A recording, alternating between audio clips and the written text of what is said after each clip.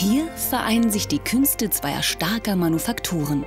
Das Landsgrund Brauhandwerk aus Görlitz und die süße Kunst der Schokoladenmanufaktur Felicitas aus Hornow.